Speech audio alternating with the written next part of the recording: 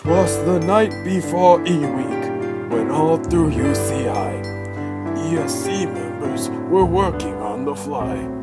Posters were hung, Facebook posts typed, because of course they were all super hyped. The Zot Zone social raged into the night.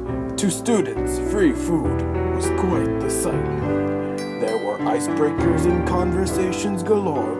Not a single second was it a bore. The freshmen of life each brought a sweater, as well as decor to make them look better. Pipe cleaners and glitter covered the room, but each member had a new holiday costume. Student involvement connected the students with lots and lots of lively events.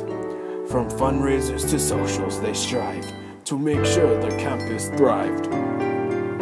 Community outreach worked around here to meet with those in a younger year.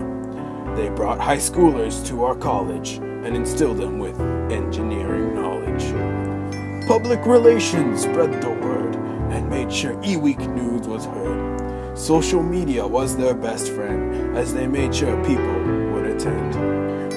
Faculty engagement's one main goal was to make our community whole. Most of this group's time was spent closing the gap amid teacher and student. Corporate affairs, on the other hand, had a much different objective planned. They contacted businesses to ensure engineers were prepared for the future. While ESC is loads of fun, its work is almost never done. Each member puts in time and stress to make our community a success.